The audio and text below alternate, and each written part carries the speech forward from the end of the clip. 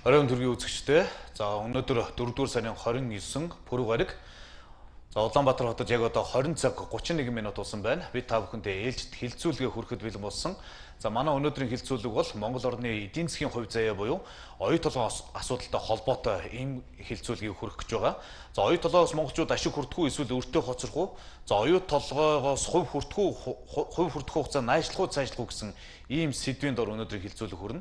За өнөөдөр хилцүүлэг маань студиэс нэг зочинтой, за онлайнаар гурван зочинтойгоор үзэгч та бүхэнд хүргэж байгаа. За ингээд нэвтрүүлгийн хэхэнд өнөөдрийн оролцогчтой танилцуулъя. Бадманимбугийн Бат Эрдэнэ хуульч мэрэгжилтэй Улсын их хурлын гишүүн, Улсын их хурлын ёс зүй сахилга хариуцлагын байнгын орооны дарга, хууль зүйн шинжлэх ухааны доктор. Бадманимбугийн Бат Эрдэнэ. Хуульч мэрэгжилтэй Улсын их хурлын гишүүн, Улсын их хурлын ёс зүй сахилга хариуцлагын байнгын орооны дарга, хууль зүйн шинжлэх ухааны доктор. Ширнэн бандын Адша хуульч мэрэгжилтэй Улсын их хурлын гишүүн Намжаагийн даш зэвэг эдийн засагч мэрэгжилтэй бизнесийн дунд сургуулийн захирал эдийн засгийн ухааны доктор За нэг оролцогчийн маань хувьд бол цойжингийн хурцгой оролцож байгаа. За Монгол улсын хөдөлмөрийн баатар, геолог, минералогийн ухааны доктор, за ашид малтамлын ордын хайгуулч, уулын инженер, геологч гэсэн юм мэрэгчлээ. За ингээд студиэс хурцгойтой хамт за мөн онлайнаар бусад хүмүүстэйгээ холбогдож өнөөдрийн хилцүүлгийг үзэгч та бүхэнд хүргэх болно. Тэгэхээр оюу толгойн асуудал яригдж байгаа. За онлайнаар холбогдсон хүмүүстэйгээ бас холбогдчихъя те. За та бүхэнд орой минь төргийа. За орой минь төргийа. Орой минь төргийа. За. За тэгэхээр асуудлын гол зүйл бол 2020 онд улсын их хурлын 92 дугаар тогтоол батлагдсан. За энэ тогтоолыг хэрэгжүүлэх үйл явц улсын хурл болон засгийн газар дээр үргэлжилж байх шиг байна. Тэгээ энэ э, оюу толгойгоос бас э, оюутлог компаниас холбогдох материалуудыг гаргаж өгөхгүй гэдэг юм асуудлаас болоод э, асуудал нэлээд хүндрэлж явах шиг байна л да. Тэгээд өнөөдөр бас ажлын хэсэг байгууллаа гэсэн ажлын хэсгийн ахлагчаар улсын хурлын гишүүн ачаагаас ажиллаж эхэлсэн байна. Тэгэхээр энэ ажлын хэсэг яг ямар зорилготойгоор байгуулагдаж байгаа юм бол ямар үйл ажиллагаанаас эхлэж байгаа вэ? Энд ярианаас эхлэе те.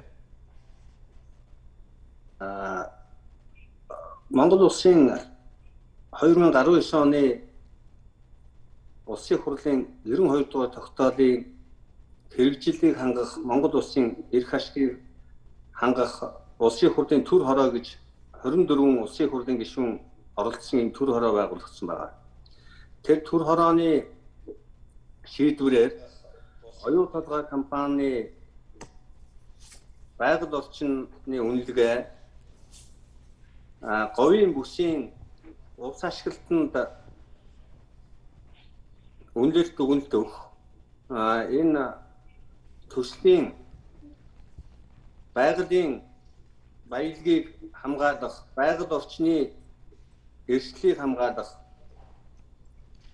энэ асуудал үнэлт өгнөлт өгөх ажлын хэд хэсэг байгуулагдсан байгаа. Энэ ажлын хэд хэсгийг бол улсын хурлын гишүүн миний бие ахиж улсын хурлын гишүүн 11 гишүүн энд оролцож Монгол улсын одоо байгаль орчны яам төрийн захиргааны бусад албан тушаалтнуудыг оролцуулсан дэд хэсгийн бүрэлдэхүүнтэй ийм ажлын хэсэг өчигдөр байгуулагдсан. Энэ ажлын хэсэг бол а оюу толгоон төслийн явцад говийн бүсийн газрын гүний ус ашиглах байгаль орчинд нөлөөлөх байдлын наривчлсан үнэлгээ говийн бус нутгийн бус ашигласны улмаас гарч болох хохирол байна уу юу гэдэг тийм үнэлт өгнөлт өгөх. Монгол улсын засгийн газраас а оюу толгоон төслийг хэрэгжүүлэхэд 30 жилийн хугацаатай говийн бусыг говийн бүсийн газрын гүний усыг ашиглах ийм одоо эрхийг өгсөн байгаа. Энэ өнөөдөр Монгол улсын үндэсний аюулгүй байдлын асуудал говийн бүсийн газрын гүний ус ашигласны улмаас тухайн бүс нутагт байгаль экологийн тэнцвэрт байдал ямар байх вэ? Энэ усыг ашигласны улмаас ямар одоо үр дүн гарах уу? ямар хор хохирд учрах уу гэдгийг бас шалгаж дүгнэлт өгөх цаашлаад энэ асуудлыг улсын хурлын хэмжээнд танилцуулах ийм үр хөх ажлын хэсэг байгуулагдсан байгаа. За. За баярлалаа. Явцын дунд бас илүү дэлгэрүүлж тодруулж асууя гэж бодож байна. За миний хажууд хурцгай студиуд ирсэн байгаа. Тэгэхээр зэрэг та бол 2003 оноос энэ оюутлогын гэрээ анх Монгол улсын засгийн газрын төвшөнд Монгол улсад орж ирээд яригдчих үеэс нь гэрээний асуудал төр нийлээд хатуу байр суурьтай байсан. Та геологч хүн. За ер нь одоо энэ оюутлогын бүтээн байгуулалт их 2013 оноос эхлээд явчихсан 9 онд гэрээнд байгуулагдаад үргэлжилсэн. Та нь газар дээр нь очиж үзсэн үү? За 2003 онд анх Айванхоо манжийн нэрээр Монгол улсын хууль гэж гэрээ биш хууль гэж анхны төрөл нь орж ирсэн юм. За ингээ энэ хууль гэдэг чинь хувийн компанитай байгуулж байгаа гэрээх хууль гэд нэрлэх үндэс байхгүй гэж. За тэгээд тэр гэрээг бүтэн уншнахад 178 хуудас байсан юмсан. Дахиад шинжилгээ хэдэн хуудас болсныг мэдэхгүй. Асар их цаг нөхцөл зардаг ийм байсан. Миний бие тэр үед итгэврийн өвгний хувьд гүгцэд уншсан хүн байгаа юм. За энэ гэрээгээр Монгол улс байгуулагдах юм бол бүгд найрамдах Монгол улс биш Айванхоо Майнтын бүгд найрамдах Монгол улс болох нэ.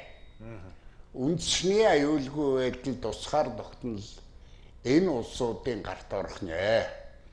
Үндэсний аюулгүй байдлын хамгийн ностой нь эдийн засгийн аюулгүй байдал хүний гарт орж хүний мэдлэлд бид бүгдийг өгөөд өөрснөө зөвхөн ажиллах хэмжээний хэмжээнд явах юм байна гэж ингэж анх саналаа тавьсан. За энээс хойш тогтмол ярьсаар байгаад одоо өнөөдөртөө залгаад байна. Одоо 30 гаруй жил бараг хөдөлгөөнд ярьж байна. 30 жил.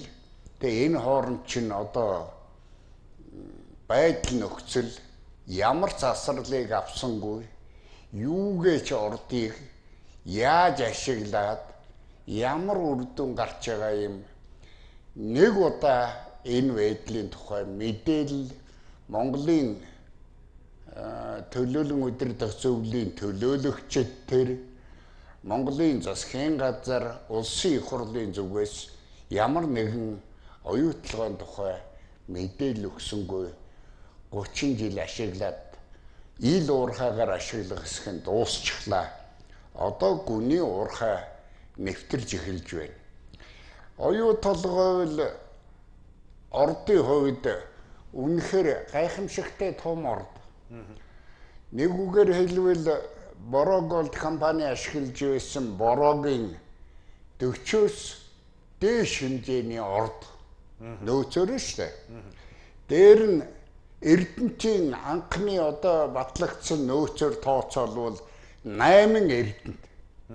За энэ үл анхны нөөцийн тооцоон дээр орж ирсэн ийм хэмжээ байгаа юм. Тэгэхээр энэ үл Монголд байдаг дэлхийд байхгүй. Дэлхийд номер 1 орд. Энэ орд бол зөвхөн зэс молибдены орд биш ээ. Бүхэл бүтэн одоо 7-оос 8 хими элементтэй а баяжмал дотроо байгаа агуулгын хэвлэлд гарсан мэдээлэлээс үзэхэд энд бол баяжмал дотроо энэ баяжмал гэж одоохондоо эрдэнэ зэсийн баяжмал, молибдены баяжмал бусдын ингээд хаягдлын аж ахуйрыг явуулж байгаа тийм. А тэгвэл эрдэнтийн юуных оюу толгой ямар ч ялгалт байхгүй. Бүх баяжмал нь сай муу хог шороо юутэй хийтэйгээд бүгдийг гадна талынх нь хайр уутан дээр зэсийн агуулга 21%, а алтны агуулга гарам 1.4 тонн молибдений агуулга төдгөл ингээд нэг тоо тавиад ингээд л бусдын бүгдийг гаргаж байгаа. Гэтэл энэ ордын баяжмал төр зөвхөн энээс гадна цайр хар туглаг вольфрам за молибден само possible те?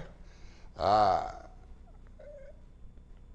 цагаан туглаг зэс цайр гих мэтчлэнгийн одоо долоон химийн элемент үйлдвэрийн агуулгатай агуулгаж байдгийг би хими лабораторийн хэвлэлд гарсан мэдээнээс олж харсан. За баярлалаа.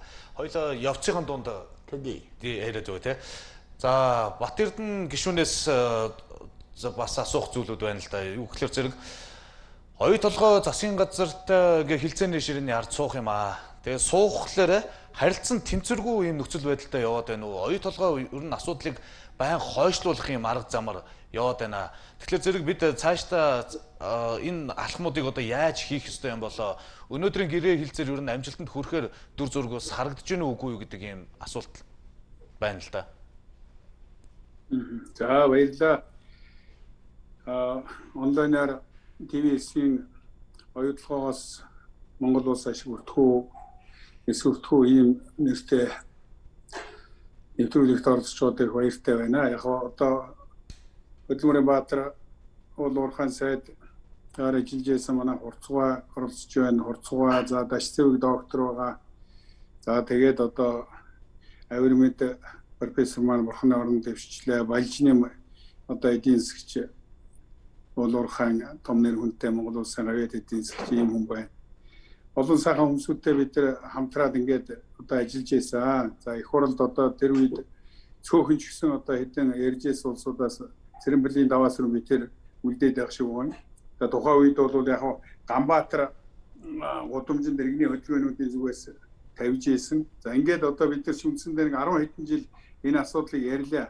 Сая хурц Баатар хэллээ ер нь анханасаа мордохын хазгаа болцсон гэж. Яг л энэ буруу одоо фундамент буруу тавиад өржихөр байшин яах вэ? Яг тэрнтэй адилхан буруу замаар явбал усахтай шороо дээж гэж монголчууд ярьдаг. Яг ийм замаар одоо яваад ирсэн юм төсөл байгаамаа. Тэгээ би сүүл үеийн их нэмийг ярья. Би одоо 17 оны 11 2 сараас эхлээд ингээд улсын хурал дээр одоо энэ оюу толгойн энэ хөрөнгө оруулалттай холбоотой оюутлахын ордтой холбоотой одоо их хурлаас ажлын хэсэг гаргаач гэж шаардсаар байгаад 18 оны 3 сарын 23-нд их хурлын даргын 57 дугаар захирамжаар ажлын хэсэг байгуулсан юм аа. Тэгээд энэ ажлын хэсгийг их хурлын гишүүнээр ажиллаж байсан тэрвчтэй ухаан ахлаад ингээд жил гарan бид нар ажилласан манай ажлын хэсэгт бол дэд ажлын хэсэгт нь одоо нэлээд хариуцлагатай улсууд дандаа яамдын төрийн нарийн бичгийн дарга холбогдох хүмүүсүүд нь ажиллаад бид энэ санал дүгнэлтээ боловсруулад тэгээд их хурлаар хэлэлцүүлсэн. Энэ их хурлаар хэлэлцүүлсэн энэ одоо ажлын хэсгийн дүгнэлтэн дээр үндэслээд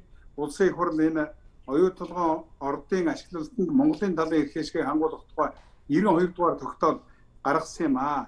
Тэгээд энэ 92 дугаар тогтоолыг л одоо хэрэгжүүлэх гэж энд байж байна. Энэ тогтоолыг хэрэгжүүлэх гэж одоо ингээд үзээд байгаа. За тэгээ энийг хэрэгжүүлэх энэ чиглэлээр бол хөрөлсөхийн засгийн газар нэлээд далайс дарах хэмжээ авсан. За тухайн үед нь бол энэ оюурд нь одоо энэ ажлын хэсгийг ахалж ирсэн. За ингээд оюурд ерөнхий сайд бол энэ ажил бол нь үргэлжлээд явж байгаа юм. За бид нар бол тухайн үед цөөхөн улсын хурлын гишүүд байдаг байсан бол одоо энэ 20 оны сонгуулийн үр дүнгээр байгуулагдсан улсын хуралд бол энэ оюу толгойн орд бол ер нь буруу замаар явцсан. Энийг одоо ер нь засах хэвээр залруулахгүй болохгүй байна гэсэн ийм уур амьсгалтай байна. Тэгээ бид нар бол ингээд одоо зориод ажиллаж байгаа наан чин оролцож байгаа ажишаа байна. За бусд олон улсуудыг хэлж болно. Тэгээ бид нар ер нь нааштай үр дүн гарах уу даа гэж бодож байгаа. Одоо ингээд сая оюу толгой одоо тэр 95 тогийн төлөөний улсууд ирж бидэнтэй уулзалт хийлээ дээ. Тэгээд тэд нар бол энэ Дубайн гэрээг одоо цуслана гэдэг ингээд ийм сайхан зүйл яриад байна. Тэгээд Дубайн гэрийг цуслана гэдэг бол үндсэндээ одоо а хэрэгжээ дууссан. Тэр Дубайн гэрээгээр одоо 4.3 тэрбум доллар аваад одоо Эритэмтэй холбогдох тэр компаниуд нь аваад манайд бол ер нь хүртэл байхгүй тийм болгоцсон төсөл хэрэгжээ дуусчихсан. Одоо тэгээд Дубайн гэрээг хүчин болгочоод дахиад Дубай 2 гэдэг гэрээг байгуулахаар ийм асуудал тавиад Тэгээ энэ дээр бол одоо улсын их хурлын гишүүд нэлээд одоо тодорхой тууштай байдлуудтай байж иж энэ гэрээний асуудлыг бол яахан хойшлуулах ийм нөхцөл байдалтай болчиход байгаа. Ерөнхийдөө бол Бурцбаатар мэдж байгаа. За Дашцэг докторч мэдж байгаа энэ анханаас нь одоо ярьсан улсууд энэ чинь 5.5 тэрбум 174 одоо сая доллараар энэ оюу толгойн хөрөнгө оруулалтын одоо энэ том төсөл бол яг бүрэн хэмжээнд хэрэгжиж гэж одоо тэр 2010 оныхоо төсвүүдээр бол тооцоолсон юм шүү дээ.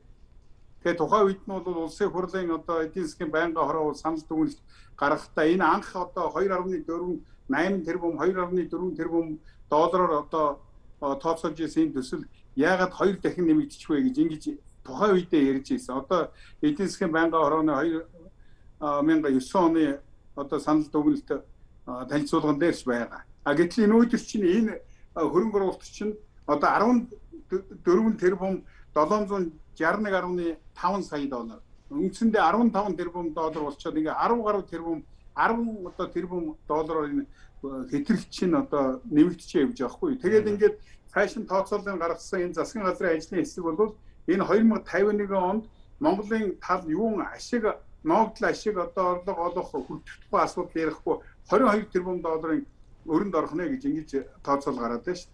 Одоо бид нэр сая тэр 90 тонтойгийнхан хүчээр шахаад байгаа 90 тонтой Түркөл сэл хоёр чи хоорондоо гэрээ хийгээд дахиж нэмж 2.3 тэрбум доллар авахаар ийм одоо гэрээ хийгээ энийг шахахаар ирлээ шүү. Хэрвээ 2.3 тэрбум доллар авсан бол дахиад нөгөө 22 тэрбум доллар дээрс дахиад 10 тэрбум долларын алдагдал гарахаар ийм нөхцөл байдлыг бид бол одоо энэ улсын хурлын гишүүд 20 гаруй гишүүд одоо шаардж гарын үсэг зураад ингээд их хурлаас одоо албан ёсоор энэ оюутлахын 92 дугаар тогтоолын хэрэгжилтийг хангуулах оюут толгойн одоо төр хороо байгуулагдсан гэж ажиллаж байгаа хөлийн даваа сүрэн даргалаа ажиллаж байгаа. Тэгэхээр эн чинь бол одоо хүмүүсд юу гэж ойлгогдоод байгаа вэ гэхээр тэр далдуурхайн хөрөнгө оруулалтын зардал хэтэрсэн юм шиг яриад байгаа. Эн чинь тийм биш шүү. Энэ ерөөсө бүх одоо үзүүлэлтээр зардал чинь хэтэрсэн шүү. Одоо бол хаягдлын агуул байгууламжийг барих 31 сая доллараар одоо тэзүүдээр 2010 оны тэзүүдээр тусгагдсан бол эн чинь 133.3 сая доллараар нэмэгдсэн. Ил уурхаа 263 сая доллараар одоо хөрөнгө оруулалт баригдана гэж хэлсэн бол 1 тэрбум 705.5 сая доллараар нэмэгдсэн.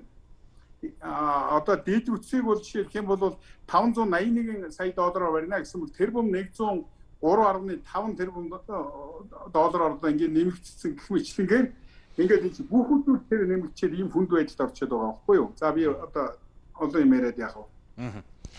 За, Дашцүг доктороос э, тодруулж асуу эдийн засагч хүн гавьд эдийн засагч тэгэхээр зэрэг оюу толгой байнга зардлаа өсгөж явдаг. За, тэгээд э, зардлага өсгөөд Монгол улсад татраа авч чадж байна уугүй гэдэг асуудал саяны одоо э, татврын актаар орж ирсэн 1.1 их 80 төгрөгийн сая ард иргэдтэй 300 мянган төгрөг болгож тараалаа шүү дээ. Тэгэхээр зэрэг Монгол улс чинь ерөөсөө авчих авах ёстой юм авч чадахгүй байгаад байсан ийм төр зургал харагдаж байна л та. Ерөнхийдөө нөгөө улс төрийн нөхцөл байдал арай өөр болж оюу толгой асуудал илүү нааштайгаар шийдэгдэх юм боломжтой улс төрийн нөхцөл байдал үүснээс шалтгаалж бид нар авах ёстой зүйлүүдээ авч эхэлж байна гэдэг ийм төр зураг харагдаад байна. Тэгэхээр яаж ийм гэрэг хүлээн зөвшөөрөж явж исэн бэ? Одоо ер нь Монгол улс ямар алдагдал хүлээгээд байна вэ? Эдийн засгийн нэг энгийн ойлгомжтойгоор та нэг тайлбарлаж өгөөч. За баярлалаа би за би нэг юм хэдэн график хийсэн байгаа. Дүрс хийсэн байгаа. Тэрийг би тэрийг би харуулчих. Ерөнхийдөө ингэж. За биднүүдээ ингэж явж байгаа.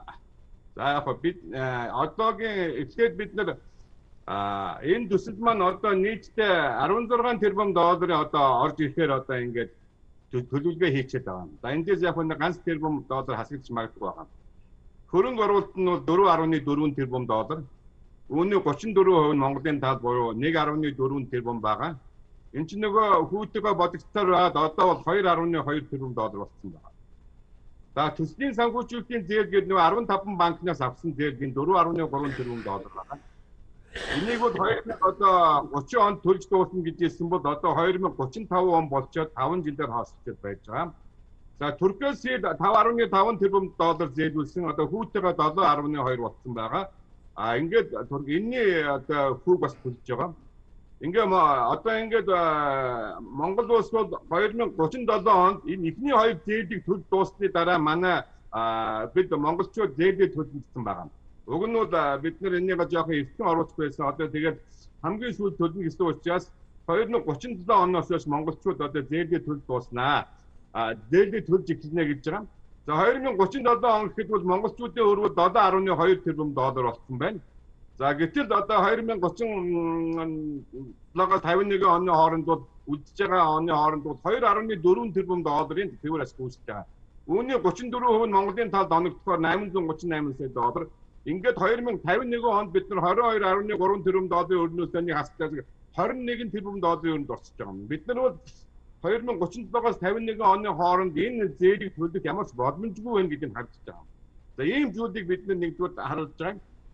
За дээр нь бид нар бол одоо энэ одоо энэ 2051 хүртэл энэ энэ энэ том ордын дээдлийн хэсгийг авах гэдэг байгаа. Одоо энийг бол хойд хуугээ гэж нэрлэдэг байгаа. Хойд хуугийн нэгдүгээр хэсэг гэдэг байгаа. Яг энэ дээдлийн хамгийн амттай шимтгтэй за товчноор хэлэх юм бол 8.5 сая тонн сая тонн зис авах гэдэг байгаа тэрбум тонн зис авах гэдэг. А дараа нь доод руугаа орно. Доод энэ 2039 он гэхэд энэ дээдлийн хэсэг дуусчихна 2040 гэхэд.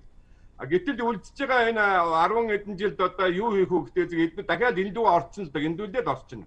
А цаана нь бол энэ өмнөд хөөгөө үлдчихэж байгаа. За мөн хэрүүгөө үлдчихэж байгаа. За ил уурхаа бол ингээ явж байгаа. Тийм учраас бол монголчууд бол одоо бид нар а зээлэр одоо энэ зээлэр одоо хөрөнгө оруулах ямар ч боломжгүй маа Ингэх юм бол ийм өрөнд ороод байх юм байна гэдгийг бол энэ энэ төслүүд харуулж байгаа.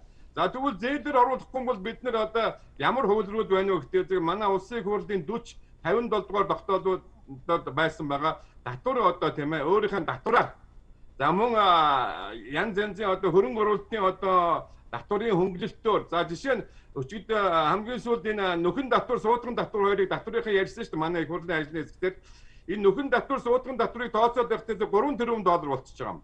А тэгвэл 3 тэрбум доллараар нөгөө үлдэж байгаа 2.2 тэрбум долларыг солино гэдэг тиймэрхүү хөвдөр бол гарч ирж байгаа.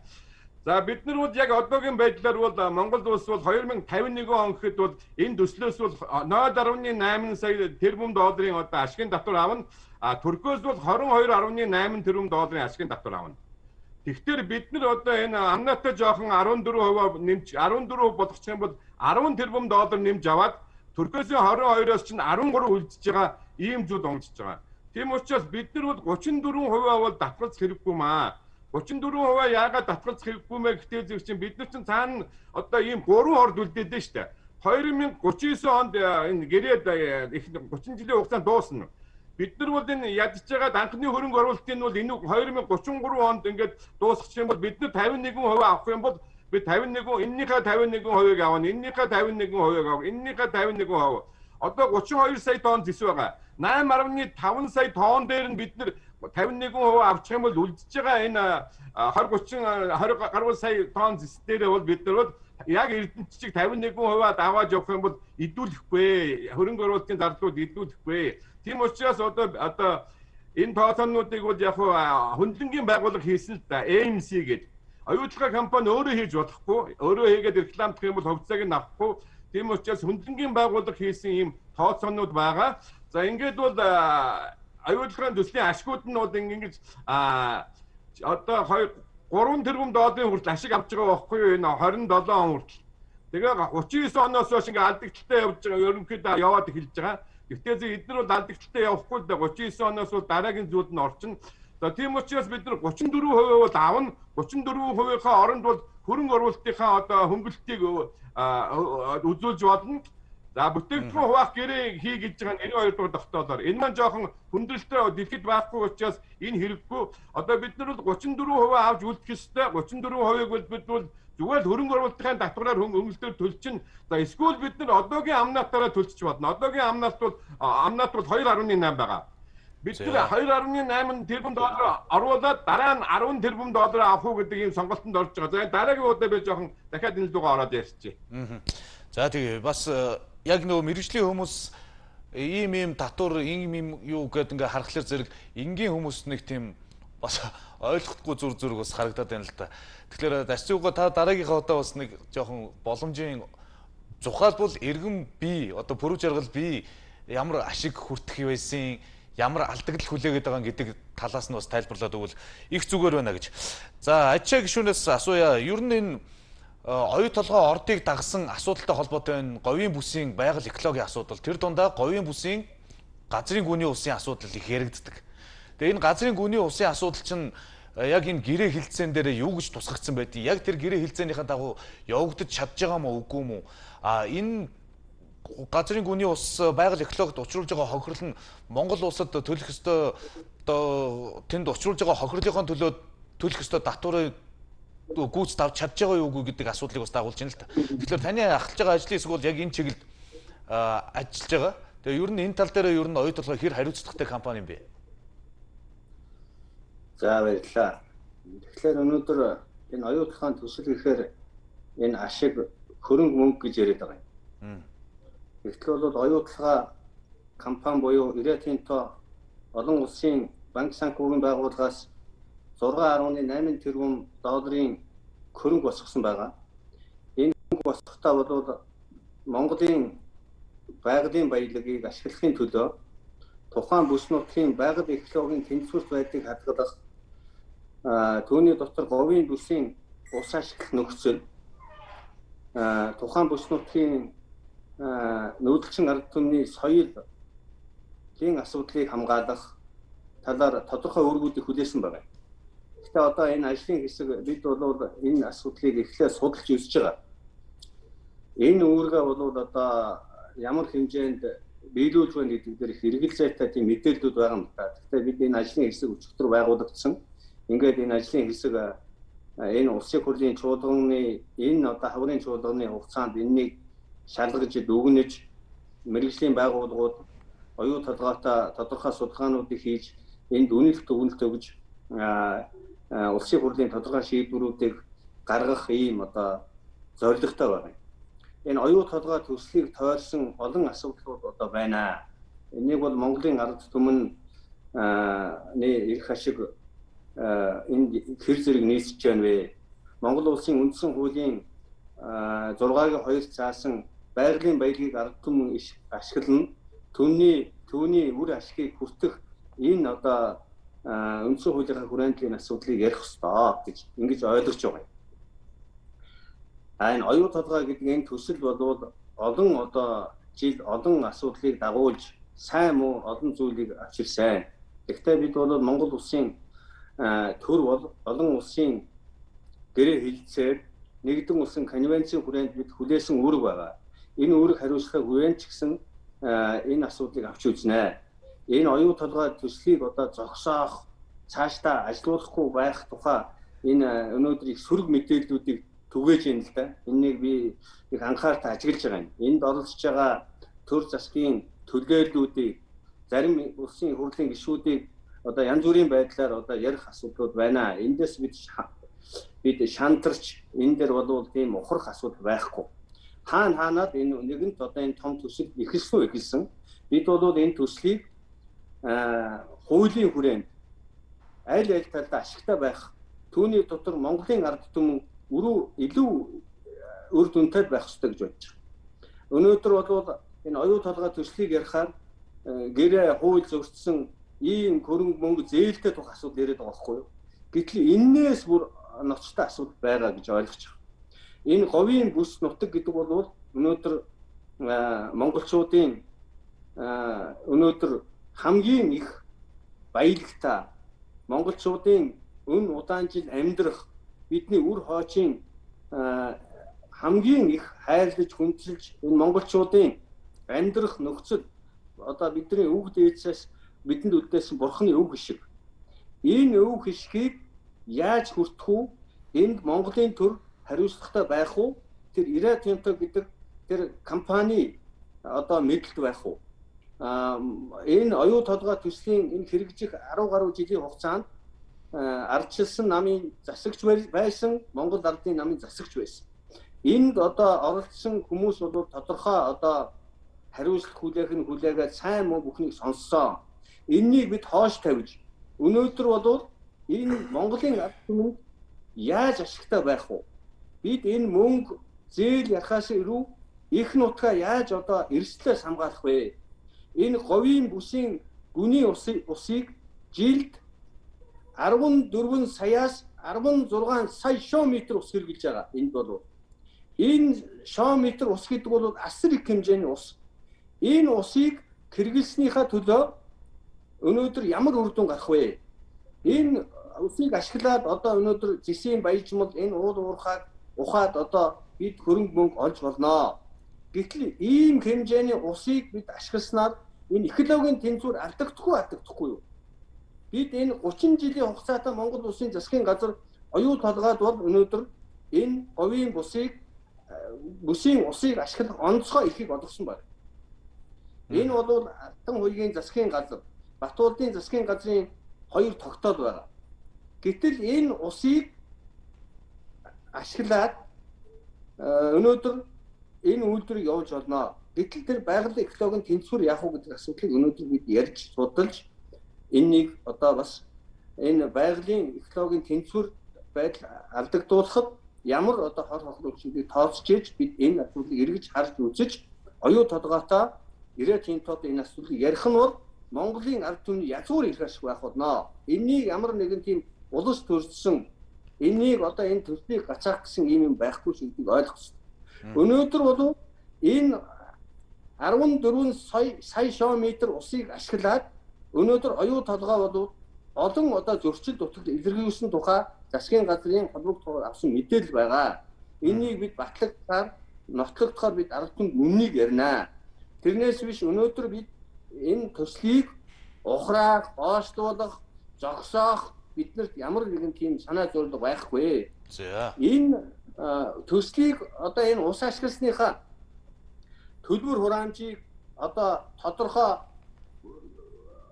хэсгийг одоо төлдөг гэдгийг мэдээлэл байгаа. Орон нутагт бол одоо жил 20 тэрбум төгрөг өгдөг. Энэний нь бол тухайн бүс нутаг үе хам бүгдэд нэгж төгрөг өгдөггүй, нэгж мөнгө өгдөггүй гэсэн ийм мэдээллийг гаргаж авсан. Ийм учраас энэ төслийг бол үйлдвэрийн зориулалтаа усыг ахуйн ус гэдэг ийм нэрийдлэр татвар хураамжаас чөлөөлдөг гэсэн ийм одоо мэдээллийг бид авсан байгаа. Энийг шалгалт тогтоож иж энэ одоо Э, уус байгаль орчны хамгаалах тухай тусгай асуудлыг бол төрийн бодлогын хэмжээнд шийдэж э, гаргах шаардлага өнөөдөр зөв ёсоор тавигдж байгаа гэдгийг хариуцлагатаа тэмдэглэх нь зүйтэй баха. За, за баярлалаа ачиг шүнд. За хурцгаагаас одоо энэ хүмүүс ярьж байна л да. Бид нар чинь авах ёстой ашиг за хүртэх ёстой хувь хэмжээг алдсаар байгаа. За элдв янзын зээл дандаа зээл болгож бидэрт буцаагаад өгөөд идэг олсон ашгийг нь л буцаага зээлээд байдаг. Тэгээд энээсээ болоод бид нар чинь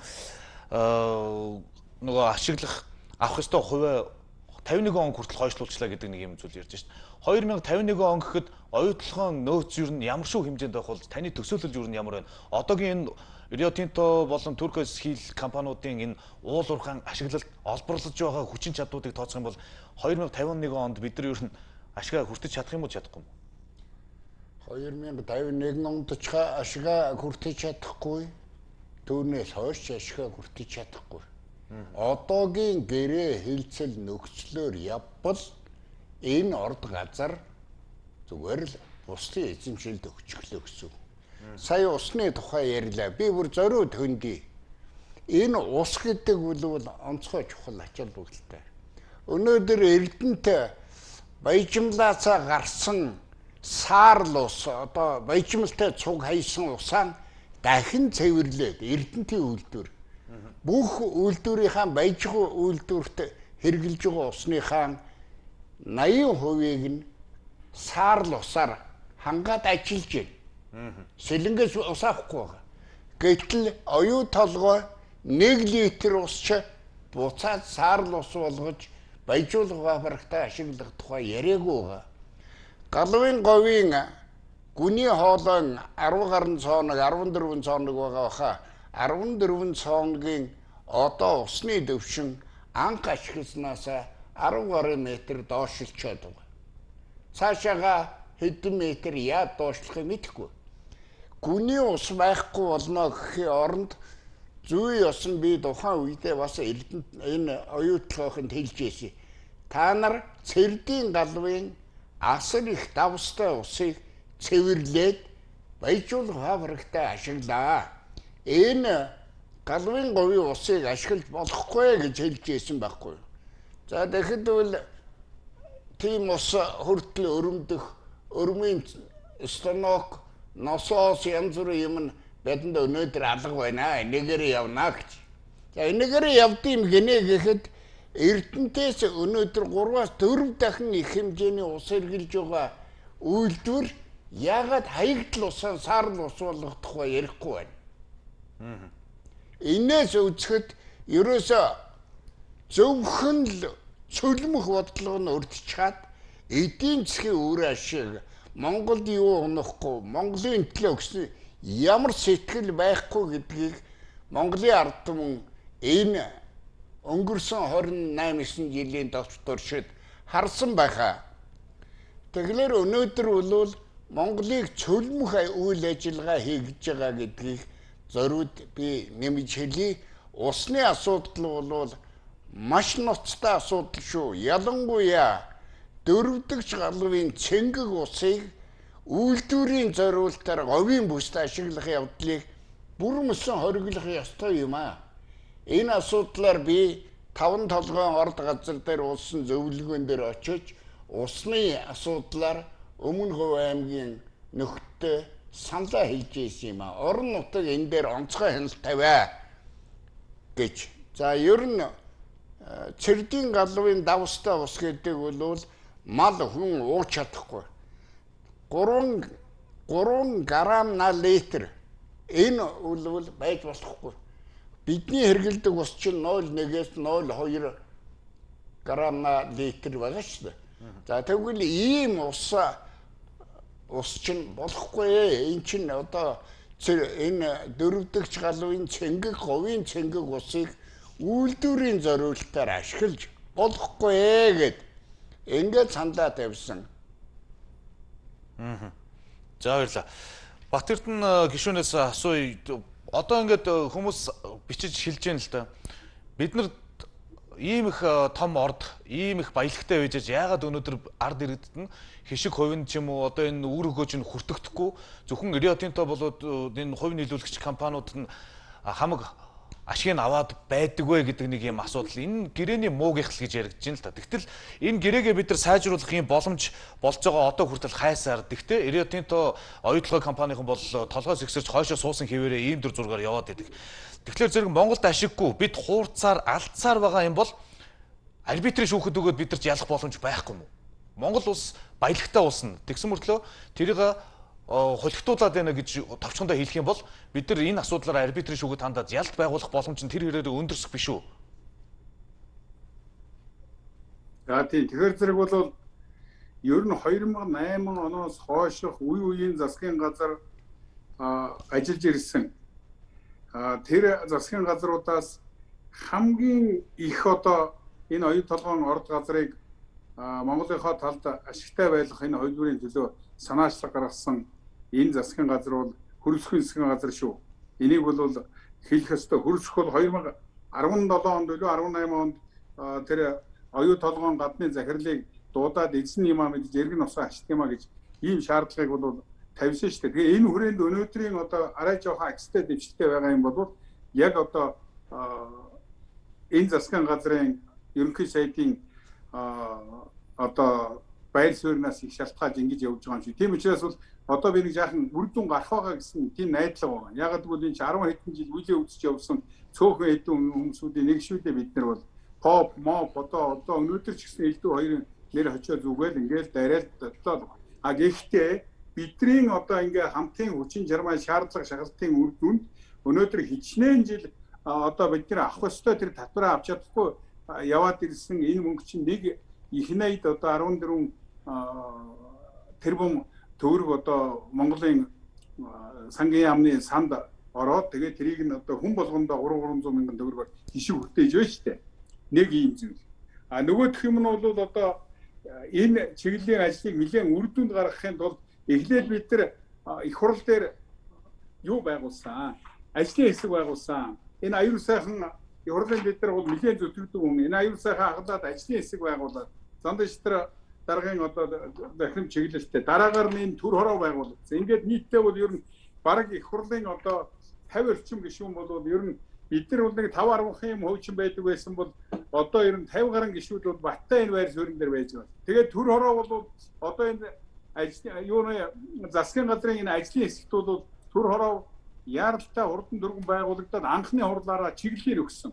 Энэ чиглэлээр бол одоо 14 15 зүйл заалттай 15 дахь зүйл заалтнуудын Дубайн гэрээг цуцлсан тохиолдолд дараах асуудлуудыг хүчингү болгоно гэд одоо цаг байгаа учраас би энийг бүгдийг ярих болцоогүй байна. Ингээд ийм чиглэлийн өгсөн. Энийний дагуу засгийн газар ажил хийх ёстой.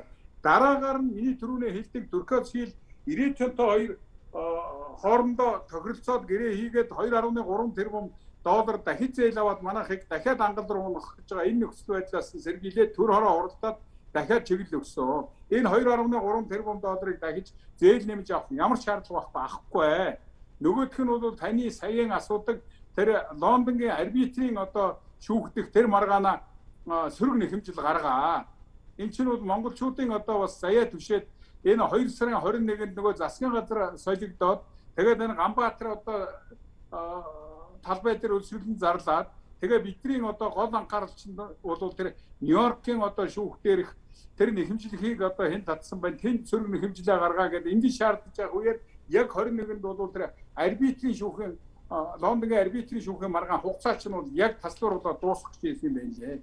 Тэгтэл одоо цаатлаасаа оюу толгой компани юу Ирэтинто нэхэмжлийн шаардлага нэмэгдүүлээд тэгээд энэ хугацааг 4 сарын 30 хүртэл ингээд бидэнд бас нэг амьсгаа авах ингээ хугацаа нэмээд өгсөн байхгүй юу. Тэгээ эннийхэн дагуу одоо сая төрөөрөө шаардлага хөргүүлээд чиглэл шаардлага хөргүүлээд тэрний дагуу засгийн газар хуралдаад тэгээд одоо Лондонгийн арбитр сөрөг нэхэмжлээ одоо гаргалаа шүү энэ цаг хугацаанд 4 сарын 30-ны өмнө. Тэгэхээр зэрэг бол биднэрт одоо энэ Монголын тал тэр Улсын хурлын одоо баталсан 92 дугаар тогтоолоор баталсан оюу толгоон ордод ашиглалтанд тийм ээ ордын ашиглалтанд Монголын талын эрх ашигыг хангуулах тухай энэ 92 дугаар тогтоолын чинь тэр зарчмын заалт хэрэгцэх нөхцөл болцоонууд гараад байна. Түрүүнд ажлын доктор яринлээ. Өнөөдөр одоо хүчин төгөлдөр байлж байгаа хуулийн хүчин чадалтай одоо 40 50 доллар тогтоолоос төсүүлээд тэр 2008 9 онод гарсан тогтоол шийдвэр бүхэн нь чинь хэвээрээ байж байгаа юм шүү дээ. Аа. За баярлалаа.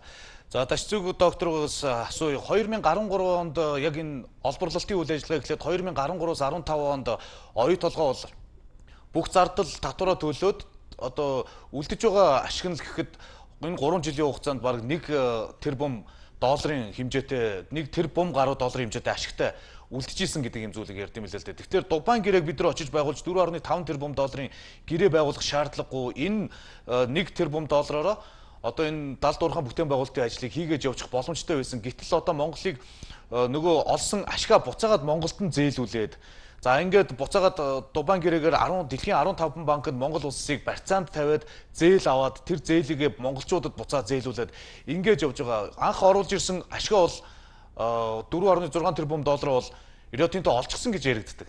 А гэтэл зээлээс зээл дандаа зээлийн журмаар ингэж асуудал шийдэгдээд байгааг ер нь юу гэж та дүгнж байгаа юм. Ер нь зээл гэдэг зүйл яг ийм гэрэн дээр тусах ёстой юм уу үгүй мүү гэдэг асуудал байна л да. Монгол улс мөнгөгүй байж болно. Гэхдээ зээлж авах ёстой юу үгүй юу гэдэг. За тэгээ. За баярлалаа. Би дахиад нэг ийм үзүүлэн харагдаж байна уу миний энэ гараад харагдаж байна. За бид нар бол зээл авах ёсгүй байсан. Улсын хурлын 40 50 дугаар тогтоол дээр бол засгийн газар үүрэг өгтөө а одоо ажилт малбарын нөөц ашиглалтны төлбөр за мөн татваруудаараа урьдчилгаа болгоод өөрөөр хэлбэл үлдэж байгаа 20 30 жилдээ төлөх татваруудаа урьдчилгаа болгож өгөөд ингээд нэг 2.2 тэрбум долларыг хаачгаа гэсэн ийм үүрэг өгж жоход манай засгийн газар зээл болгож авсан байгаа юм. А ер нь 34% бид нар яаж солих ийм олон хувилбар байгаа байхгүй юу? бид 34% зүгээр 2.2 тэрбум долларын хөрөнгө оруулалтын татврын хөнгөлөлтөөр сольж боломж байгаа юм. Бид нар 2051 он хүртэл энэ хөрөнгө оруулалтын 10%-аар татврын хөнгөлөлт үзүүлж байгаа нэг хөрөнгө оруулалтын. Тэр 10% чинь 2.2 тэрбум доллар болоод ингээд ерөнхийдөө сольж боломж байгаа юм. За амнат бол 2.8 тэрбум доллар байгаа. 2.8 тэрбум доллараа энэ дүүгээ хийчих хэрэгтэй. За одоо ийшээ хийчихё. Бид нар амнат авахгүй. А энэний хооронд бид нар ногдлашиг авах юм бол 10 тэрбум доллар авна. За тэгээ нэмэлт амнаад авах юм бол 14% нэмэлт амнаад авах юм бол бид 9 тэрбум доллар олж авна. Хэрвээ 9 тэрбум доллар олж авах юм бол шууд 51% авч мөрөн боломжтой. А 68 68%-ийн татврын оронд бид нар улсын их хурлд бол 25% нь үнгүй авгаа засгийн газар дүүр өвчжсэн 2009 онд. Гэтэл түүнийг хэрэгжүүлээгүй. Тэгэхээр бид нар бол зээл авах ямар ч үндэс байхгүй. А манай энэ баялаг бол одоогийн өндөө одоогийн үнээр бол 400 тэрбум долларын баялаг байж байгаа. 400 тэрбум долларын баялагтай улс 34%-ийнхаа одоо хөрөнгө оруулалтыг та нар үнгүй хийчихээ 2.2 тэрбум долларын үнгүй хийчихээ гэхэд бол бүрэн боломжтой. Эдгүүлчнүүд одоо 22 тэрбум долларын одоо цэвэр ашиг эндээс авах гэдэг байгаа шүү дээ. Тийм учраас зээлийг бол авахгүй. Зээлийг бол хэднэч авахгүй.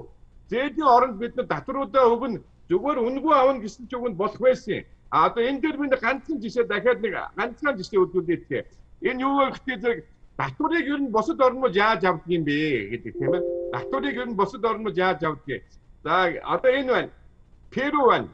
Перу утсан зэсийн одоо хоёр дахь их орн.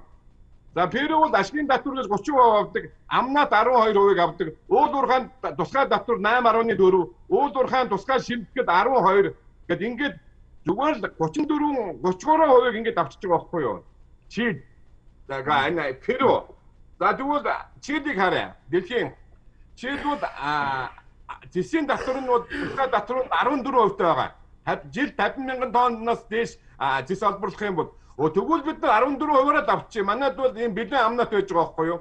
Зэсийн үн 8-9 мянга болоход бол 14%-аар аавна гэдээ эрдэнэ төлж байгаа. Одоо бид нар энэ татврынхаа нэмэлт амнаатаар бид нар оюутлогоос авна гэх юм бол эндээс 10 тэрбум доллар авах боломжтой байгаа. Тийм учраас ямар ч нөхцөл зээлийг зөвшөөрөхгүй. А зээлийн хүүдээр бол эдгээр бол 3.3% хөөтэй зээл аваад байгаа. 3.3 а лайбр дээр нэмэх нь. А гэтэл Монгол 6 7 болгож өгөөд байгаа байхгүй юу? Ингэхэр зөвшөөрөхгүй. За мөн зээлийн батлан даалтын сан гээд татваргээд 1.9%-ыг авч байгаа. Үүнийг зөвшөөрөхгүй. Менежментийн төлбөргээ 6% 3 авж байгаа. Үүнийг зөвшөөрөхгүйгээд одоо ийм л гэрээ хийчих юм бол Монголд бол их ашигтай хуулиуд гараад ирж байна гэж би одоо бодож байгаа юм те. Аа. За баярлаа. За ичээ гүшүнэ. Оо сая ингээд өнөөдөр бас мэдгдэл гаргаж ийн л да Эрдэнэс оюу толгой компани мэдгдэл гаргаж байна. За энэ мэдгдэл дээр юу гэж дурдгаж байна гэхэлэр зэрэг энэ оюу толгой компани болон Turkish Hill Resource Limited компанийн шаардлагатай одоо техникийн үзүүлэлт бусад материалуудыг гаргаж өгөхгүй байна гэдэг ийм зүйл яригадаад байна. Тэгэхээр зэрэг энийг гаргуулахын тулд улсын хурл засгийн газар хүчгүүдэд бол улсын хурл тодорхой шахалтуудыг үзүүлэх юм боломж байна уу? А энэ бол зүгээр тэр мэдээллийг сонсог байна л да. Тэр улсын хурлын 57 дөөч 92 дугаар тогтоодыг өнөөдөр оюу толгой Ирэтэнтэй компани энийг биелүүлэх ёстой. Өнөөдөр энэ тодорхой мэдээллүүдийг тодорхой баримтуудыг гаргаж өгөх үүрэгтэй гэж ойлгож байгаа. Өнөөдөр бол энэ оюу тодорхой компани буюу Ирэтинто бол өнөөдөр Монгол улсын нутаг дэвсгэр дээр үйл ажиллагаа явуулж байгаа энэ компани учраас Монгол улсын хууль дүрмийн хүрээнд шаардлагатай мэдээ мэдээллүүдийг өгөх юм үүрэгтэй байгаа. Энэ үүргээ биелүүлэх ёстой. Энэ үүргээ биелүүлэхийн тулд бид бол энэ компанитай бол бүлийн хүрээнд олон улсын Монгол улсын нэгдэн орсон конвенц Монгол улсын бусад хуулийн хүрээнд энд харилцаж энэ шаардлагатай мэдээллүүдийг авнаа. Энэ бол өнөөдөр Монголын ард түмний өмч хөрөнгө байгалийн баялагийг бол өнөөдөр Монголын ард түмэн өөрсдөө захиран зарцуулах тэрний үр өгөөжийг ашиглах асуудал бол үндсэн хуулинд заасан бидний одоо хамгийн том эрх байгаа энэ эрхийг хангуулахын төлөө Монгол улсын их хурл, Монгол улсын засгийн газар түүнчлэн энэ улсын хурлаас байгуулагдсан төр хороо энд анхаарлаа хандуулж ажиллана гэж ойлгож байгаа. Өнөөдөр бол улсын хурлын э, дөөч 57 92 дугаар тогтоолуудын хэрэгжилт бол өнөөдөр зүгээр цаасан дээр буусан тогтоол шийдвэр хэлбэртэй ирж ирснийг өнөөдөр бид нуух хэрэг байхгүй. Одоо энэ өнөөдөр Монгол улсын их хурл болоод одоо Бат Эрдэнэ гишүүн ярьсан.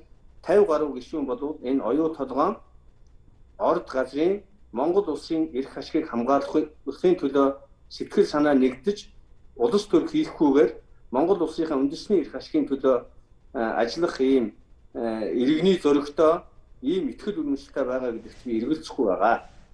Мгм. За баярлалаа. Тэгэхээр хурцгаа та уул уурхаан сайдаар ажиллаж исэн хүн. Одоо бол энэ асуудлыг дан ганцхан энэ уул уурхаан яам ч юм уу шийдвэрлэн гэхэлэр хэцүү болчих шиг боллоо л доо. Засгийн газрын төвшөнд яригддаг юм зүйл болчих шиг боллоо. Тэгэхээр бид нар яг юун дээрээ алдав? Одоо тухайлбал Эрдэнэтийн анхны одоо тэр гэрээ хилцлийг хийж явах тэр арга туршлагыг бид нар орчин үед хэрэгжүүлж чадсангүй юу үгүй юу? Одоо ингээд гидигээд байгаа компанийг бид нар яаж тонгоолох ёстой юм бэ? Таны одоо олон жилийн туршлагын хувьд та ямар арга барилаар ер нь энтэй үүсэх бол? Эрдэнтийн гэрээг анхнаас нь дуусан дуустал нь хэрэгжих арга замын хүртэл бүгдийг үтсөө хөө. Бүгдийг хийцээ. А оюутлагын гэрээ бол энэ шал өөр. Ерөөсөө бай- байж болохгүй юмуудыг бүгдийг бичсэн байхгүй юу? Тэглэр би үл гэрээнд оролцож байсан хүний хувьд яагаад 2003 онд энэ гэрээг байгуулвал Монгол улсын үндэсний аюулгүй байл тусгаар тогтолч нь түүн дотроо эдийн засгийн тусгаар тогтолч нь байхгүй болох нэ гэдэг үгийг хэлэх хэмжээнд хүрвэ. Энэ чинь ойлгомжтой шүү дээ. За өнөөдөр болж байгаа процесс янз бүрийн юмуудыг нөхдүүд ярьж байна, маш зөв ярьж байна л да. Одоо бол оюутлагын гэрээний тухай асуудлыг бүр заалт нэг болгоноор нь хянах ийм шаардлагатай, ийм ажлын хэсэг ажиллах ёстой. Тэгжээж ямар байх ёстой заалтыг яаж ингэж бичсэн бэ гэдгийг үндэслэлийг гаргаж энэ ажлын хэсэг асар маш их хүч хөдөлмөр орж байж хийнэ. Тийм учраас одоо манай яам тэр засгийн газрын хэмжээнд тэр за яам хийж чадахгүй байна. Яам хийх эрх байхгүй. Ягаад гэвэл яам хэрэгжүүлэх яам биш ээ. Яам бол бодлогын яам аа. Энэ бодлогын яам гэдэг чинь бодлого боловсруулах болохоос биш хэрэгжилтний юу болж байгааг хариуцдаг байгууллага биш ээ. Тийм учраас яамны сайд солигдно эрен дээрээ бодлого дахиад хийн. Дахиад тэр бодлого нь эхэлж хэрэгжээгүй байхад дахиад бодлого хийн. Ийм мэтлэнгээр манай үйл ажиллагаа маань бодлогын яамдууд гэдгийг хэрэгжүүлэгч яамдууд болгож байж сая ажил зөв тэшээ иргэнэ. Тэрнээсээр одоо хүний эрүүл мэнд алдагдлаа гэдэг эрүүл мэндийн яам ярихад эрүүл мэндийн яамны ажилтан би бодлогыг хийдэг болохоос биш яаж ажиллаж байгаа 1 2 3 дугаар эмнэлгүүдийг би мэдэхгүй гэж сууж ирсэн.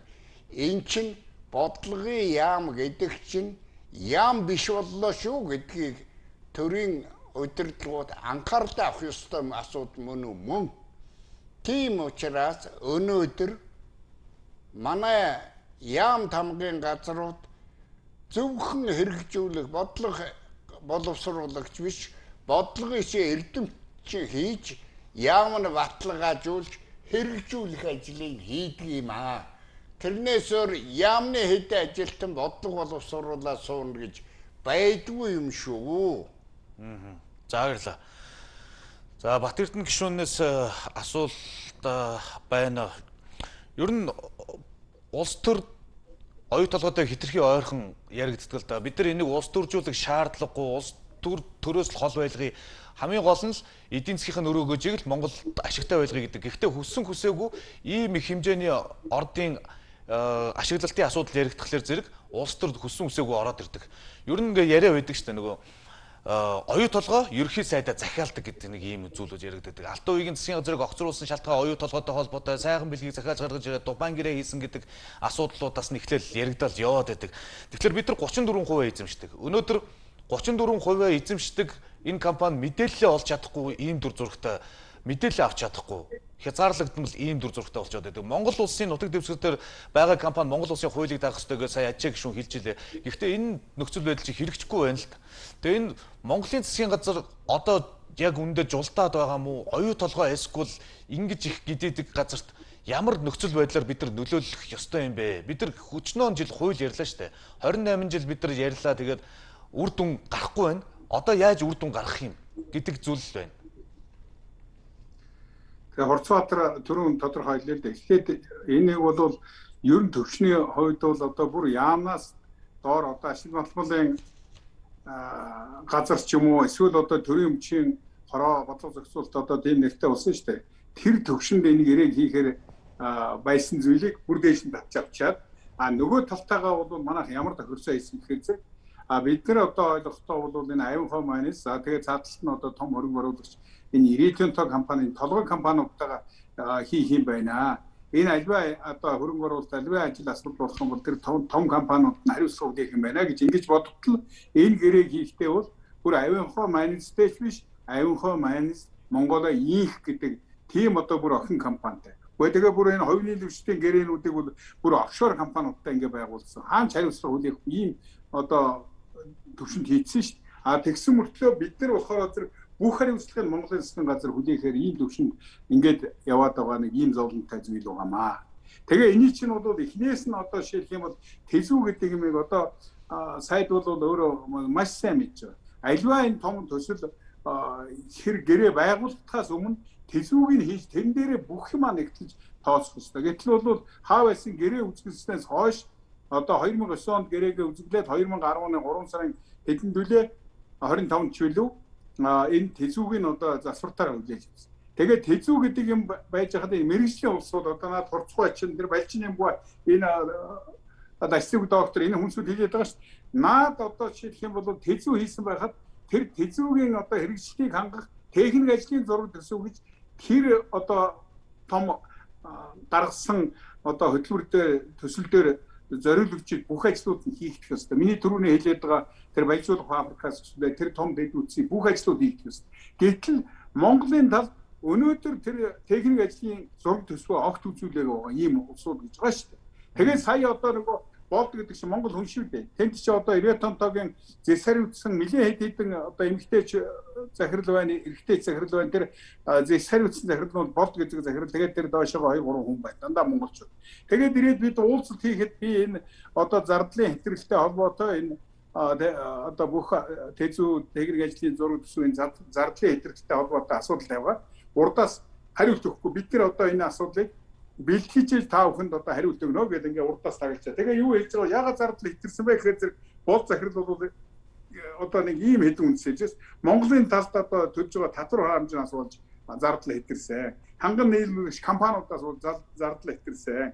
Менежментийн э, төлбөртэй үнэтэй холбоотойгоор зардал ихтерсэн. За хөрөнгө оруулалтын ихэнх хувь нь бол гаднаас одоо импортоор авч байгаатай холбоотойгоор энэ зардал ихтерсэн гэж ийм одоо үндэслэгүй ийм одоо асуудлыг тавьж байгаа байхгүй юу. Тэгээд одоо бол бид нар яг ийм хуучин одоо арга барилаараа бол явахгүй.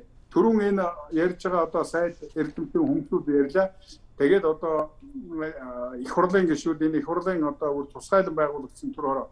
Би энэ 12-оос 16 онд энэ оюу толгоон ордын ашиглалтад Монголынхоо одоо эрх ашигыг хангуулах чиглэлээр хөөцөлдөөд бүх нам улсуудын төлөөлөлтөд төр хороо байгуулсан байгуулах гэдэг оролцсон юм шүү дээ. Тэгээд тэр үед бид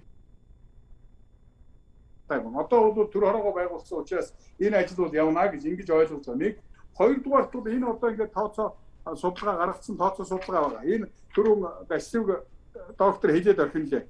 Өөрөө ч та хэлсэн. Энэ гарч ирж байгаа үр дүнгийн жишээлх юм бол 2014 онд 482 сая доллар 2015 онд 433 сая доллар. Энэ мөнгө хөрөнгөний үлдэгдлийн чинь 90 тонтод татж авчаад байгаа байхгүй юу?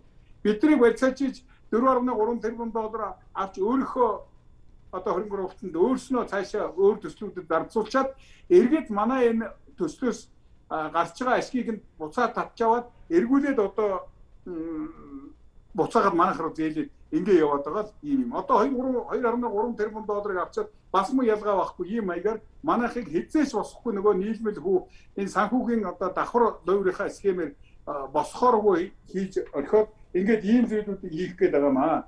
Би одоо энэ бичгийг нэг харуулъя. Энэ бол одоо нөгөө сая яригдж байгаа 57 дугаар тогтоол эдийн засгийн байнгын хорооны одоо санал дүгнэлт энэ бол үнэхээр гайхамшигтай сайхан зааж гисэн байна. Одоо сая хэн дасцэг доктор хилээд орхин лээ. Одоо шир зарим бүтээгдэхүүний үнийн өсөлтийн албан татварын хөнгөлөлт чиглэлтэй асуудлыг Монголын талын эзэмшлийн хувьд ноогд хөрөнгө оруулалтыг бүрдүүлэх асуудлыг хэрхэн шийдвэрлэхдээ уялдуулан хэлцээр хийх гэдэг энэ хоёрын хоёр дээр үр өгсөн багт тухайн үеийн манай засгийн газар энийг хайхахгүйгээр хийгээд тэгээд одоо улсын хурлын дараа дамжны дэмбэрэл энэ 68% гинти ашигын татварыг хүчингү болгохдоо энэ татварыг орлох татварыг та нар засгийн газар оруулж ирээрэй гэдээ алхаад тогссон. Одоо тэр протокол наалга болцсон байгаа шүү дээ. Бид нар энэ 57 дугаар тогтоодыг одоо батлуул санал хурааж бид нар бүр ань тэмцэж энэ 57 дугаар тогтоодыг энэ 57 дугаар тогтоодыг батлуулж санал хураас хураалгасан тэр архивын одоо материалыг санал хураалтын дүнг аваад ингээд одоо оюутлын хөрөнгө оруулалтын гэрээг дэмжиж санал өгсөн хоёр нүртэй хулгайчуд гээд даваа сүрэн батэрд ингээд ингээд цодлоод байгаа байхгүй. Тэгтэл чинь энэ бид нар үхтлээ тэмцэл хийж яж энэ батлуулсан 57 дугаар тогтоолцтой. Сая дасны доктор хэлсэн. Энэ чинь хүчин төгөлдөр байгаа хуулийн ачаал бүгдэлтэй баримт бичих шүү. За баярлаа. Тэр жоохон дэгээ гарах байх гэж бодоод байгаа шүү дээ. Аа. За манай нэвтрүүлгийн маа цаг өндөрлөх дөгч байна. Тэгэхээр манай өнөөдрийн хилцүүлгийг бас товчхонд нь дүгнээд бас нэг сүүлийн үг өгүүлбэрийг хилээч гэж хурцгаад микрофоныг шилжүүлье. Өнөөдрийн бидний ярилцаж байгаа энэ ярилцлага бол уг асуудлын суураар нь хөндөж хөндлөө. Гэхдээ би энэ уурхай дээр очисоо үзье. Энэ уурхай дээр ажиллаж байгаа Монгол ажилчид ямар орон зайд ямар нөхцөлд ажилдгийг өнөөдөр оюутлагын засварын цех гэхэд засварын цех нь газар дор нөхөнд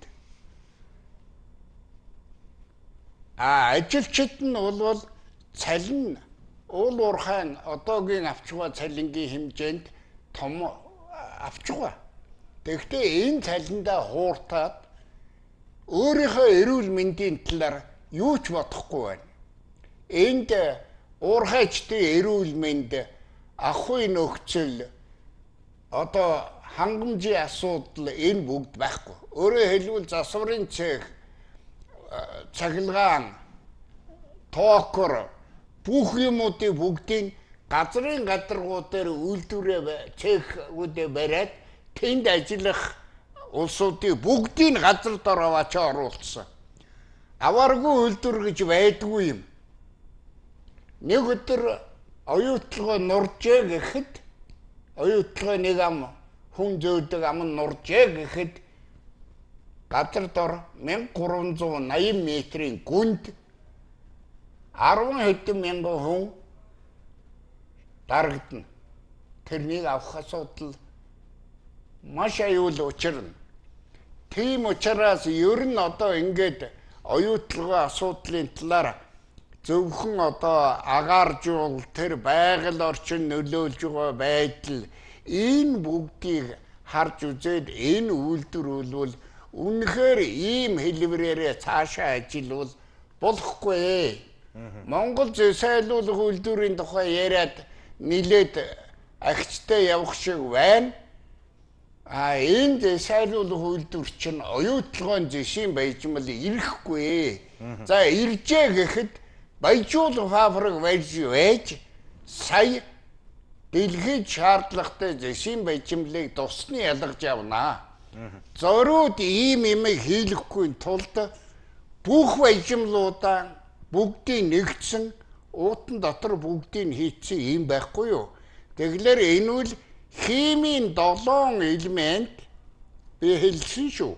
Энэ 7 элементээр одоохондоо бүгдийг одоо сая 1.8 тэрбум төгрөг сая өгсөн ард түмэнд 3% яасан ямар агуу энтергээ усууд ярьж илээ. Гэхдээ энэ биш ээ нөхөд минь энэ чи ердөө дагвар элементийн нэг сард гарсан бараг бүтээгдүүний үнийг л өгсөн болохоос биш жинхэнэ ашиг биш ээ.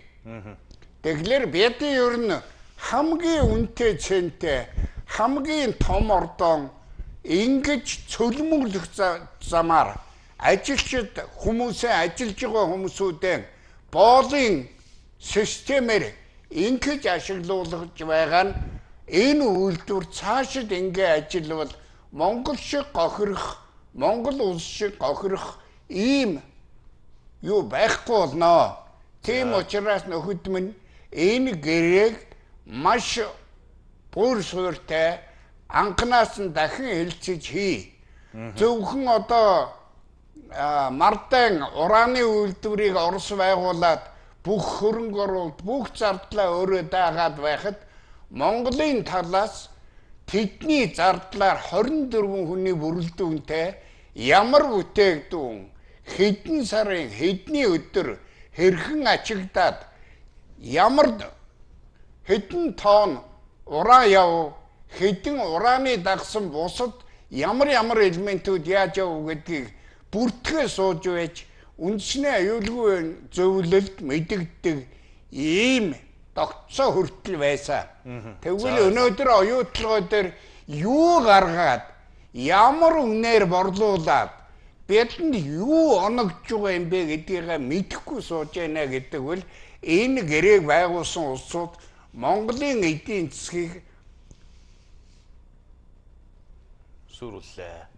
Сүрүүлэх ийм нөхцөлийг хийсэн шүү. Тийм учраас энэ гэрээг үргэлжлүүлэн ажилуулах асуудал байж болохгүй асар их хүч хөдөлмөр гаргаж бүгдээрээ хамжиж байж энэ гэрээг зөв зөвхт нь оруулах арга хэмжээ авах зүйтэй.